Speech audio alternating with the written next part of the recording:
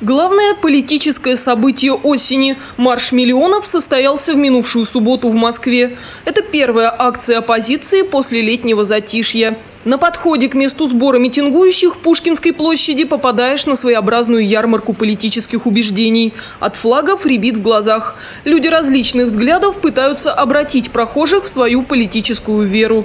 Победа будет за социализмом, и белая ленточка, она только отвлекает народ от правильного пути. Чтобы отвлечь народ от главного, чтобы прийти к власти, помочь этой же сегодняшней власти. Вот и все. Народ этого не может понять, и тем более молодежь. Поэтому мы стараемся объяснять вот таким образом э, наши газеты молодежи предлагать. Мы предлагаем наши мысли, мы им объясняем, что только социализм самый верный путь, и он все равно победит. Пройдя через рамки металлодетекторов, попадаешь на позиционное распутье. Левые налево, правые направо. Пока строились две эти колонны, политические лидеры обоих направлений всячески развлекали народ.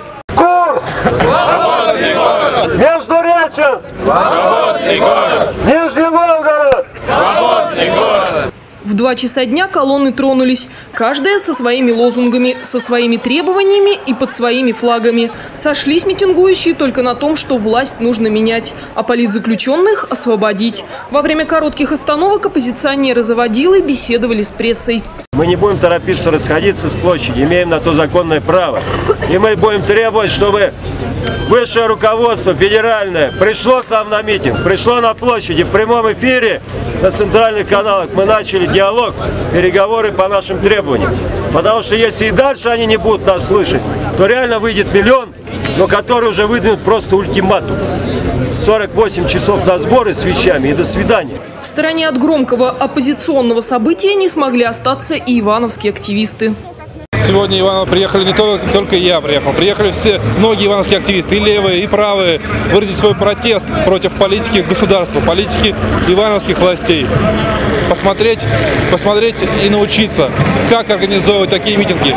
На подходе к месту митинга колонны встретились. Только тогда стало понятно, насколько много людей пришло на площадь. Правда, точные данные, как всегда, разнятся.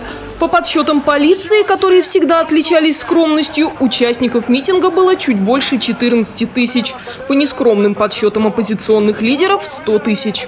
Мы начинаем очередной марш миллионов!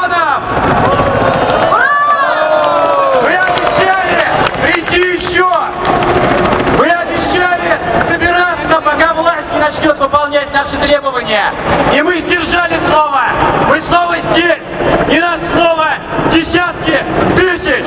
На митинге звучало много лозунгов. Нет репрессиям, свободу узникам 6 мая за досрочные выборы. И неизменный за честные выборы за легитимную власть. Но диалога с властями, как всегда, не получилось. Поэтому следующий марш назначили на конец октября. Наталья Романова, Артем Алиев, РТВ Иванова.